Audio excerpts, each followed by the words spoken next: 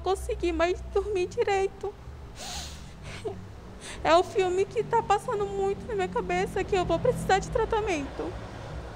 Porque eu fui muito agredida. As lágrimas são da jovem Andresa Vieira Menezes, de 23 anos, vítima da violência do companheiro, Carlos Jair de Oliveira dos Santos, de 29. Com a boca e o corpo machucados, ela diz que no último domingo, no conjunto Nova Cidade, zona norte de Manaus, após a festa de aniversário dele, foi agredida com chutes e socos e desmaiou. Essa noite domingo foi a pior, porque eu tenho certeza que se não tivesse ninguém lá, ele teria me matado. Porque ele chegou a me dar um, o primeiro soco que ele me deu, eu cheguei a desmaiar e ainda queria continuar me batendo. Ele também é acusado de agredir a ex-mulher e os crimes de violência não param por aí. Na noite de domingo, três mulheres, sendo uma transexual, também foram agredidas por um homem na frente de um comércio no mesmo bairro. As agressões foram registradas por câmeras de segurança do estabelecimento e repercutiram nas redes sociais. Segundo dados da Secretaria de Segurança Pública do Amazonas, de janeiro a março do ano passado foram 5.952 casos de violência contra mulheres.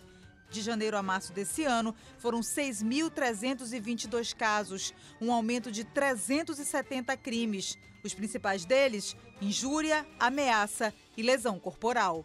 O medo de denunciar ainda é o maior entrave para as mulheres vítimas da violência. É que as ameaças muitas vezes intimidam, mas a polícia garante. A justiça faz a sua parte e pune esses agressores. E as medidas protetivas funcionam com rigor. O número de mulheres violentadas aumentou nesse período de pandemia. Segundo a delegada da mulher, não apenas esposas têm sido agredidas pelos companheiros, mas também mães têm sofrido agressões dos próprios filhos dentro de casa.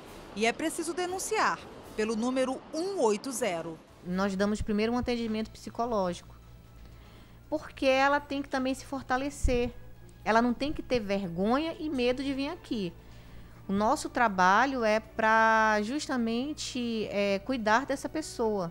A delegada aponta ainda que a promessa do homem de que vai mudar o comportamento agressivo também faz com que muitas mulheres não se libertem de relacionamentos abusivos. É o que também aconteceu com Andresa. Ele já me agrediu duas vezes. Ele falou que ele ia mudar, mas ele nunca mudou, porque ele sempre continuou com o jeito dele agressivo. Meu maior medo é que ele faça algo pior comigo, que chegue até me matar.